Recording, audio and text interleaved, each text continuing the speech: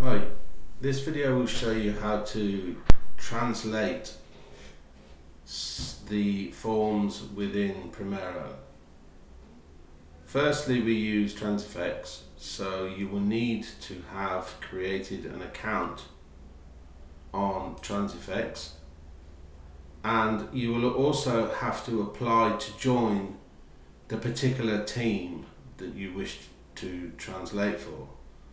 So there are different teams available. So there are some French, uh, Arabic, Bengali, Portuguese.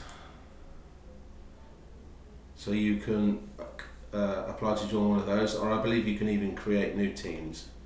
So let's start off now with showing you how to translate the forms.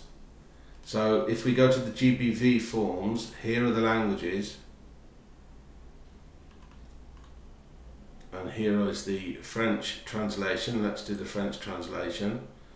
So if we click this, we can see the individual forms that we would like to translate. So if we have something in one of these forms that we would like to change, so let's, for example, say this one, clicking this brings up this uh, contextual menu.